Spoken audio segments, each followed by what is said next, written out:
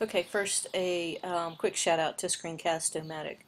I use a couple online recording um, sites, but this one seems to be the one that likes working with my Mac and my iPad and my iPhone when I'm trying to record using Reflector. So anyway, alright, um, everyone's talking about Reflector, and here's the, the link for the site.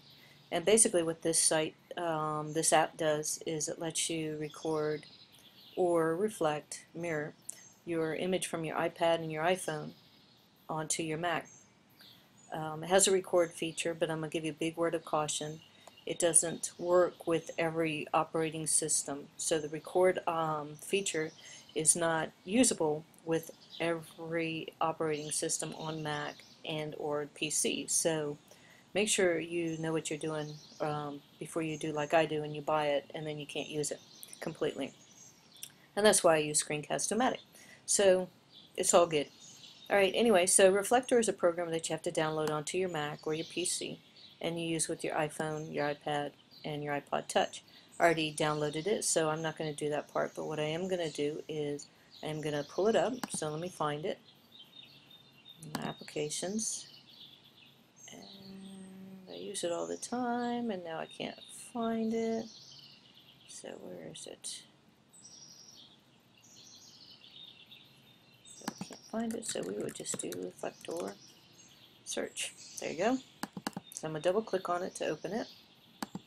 Close my Finder. And so it's open um, down here, my dock. So I'm going to click, make sure it's up. So now up here, I'm not sure if you can see this, you'll see my reflector information, the device.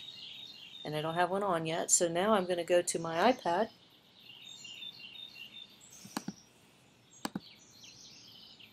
um, and I am going to open or start the reflector.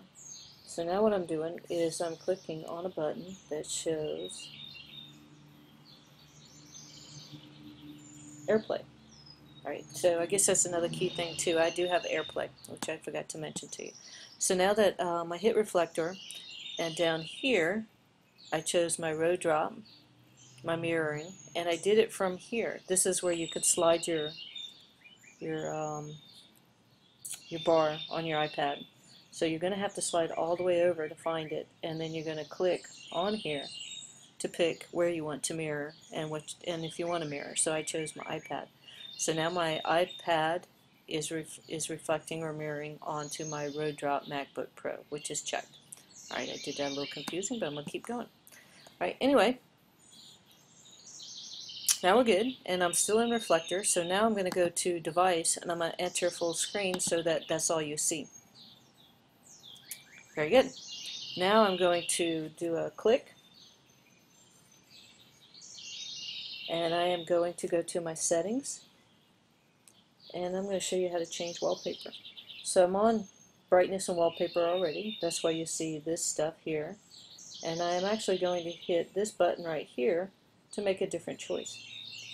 So now I'm going to change my wallpaper to a regular wallpaper that's available on the iPad and iPhone. So this is a little tough decision, but I guess I will use the ocean. Now I also have an option to set the screen lock, lock screen, I'm sorry, set lock screen, set home screen, or set both. So I'm going to hit um, set home screen for now. And now I'm going to go back and I'm going to check by clicking. And there you go, I've got the ocean. So now if I want to change it, I go back to settings, defaults to what I was just doing, and now I'm going to find a, a personal role, so I'm going to go to my photo library,